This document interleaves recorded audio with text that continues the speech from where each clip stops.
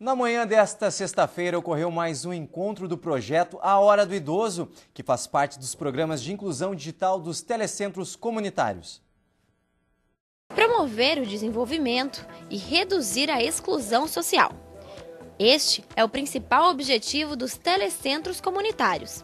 O projeto A Hora do Idoso, que começou como uma experiência, hoje já foi inserido no programa e possui encontros semanais.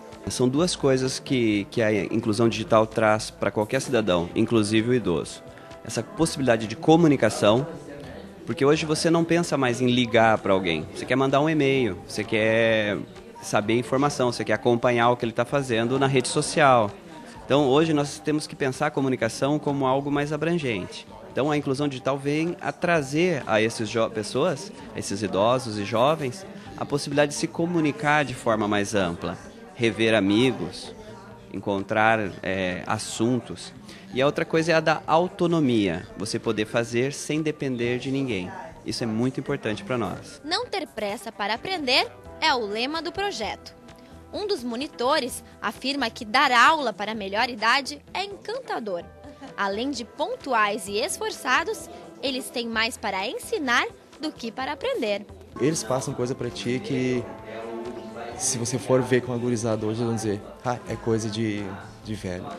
Mas aquele valor humano, aquela força de vontade de aprender, de não desistir nunca, né? Isso eles carregam.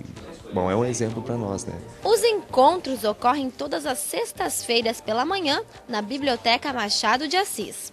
A formatura está programada para setembro e na expressão de cada um dos alunos se percebe a dedicação e a força de vontade. A e-mail já mando assim, foto já passei do, da, da máquina para o computador, já faço.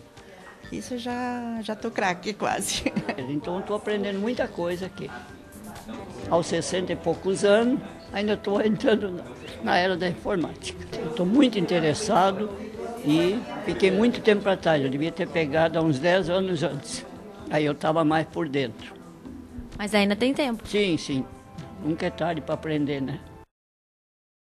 Para mais informações sobre o projeto A Hora do Idoso, é só acessar caminhodigital.novohamburgo.rs.gov.br ou pelo telefone 3594 9949 nos ramais 9230 ou 9228.